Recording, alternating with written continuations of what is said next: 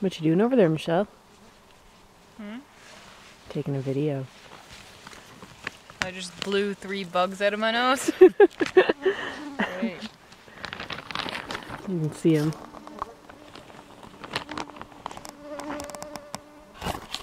Everywhere.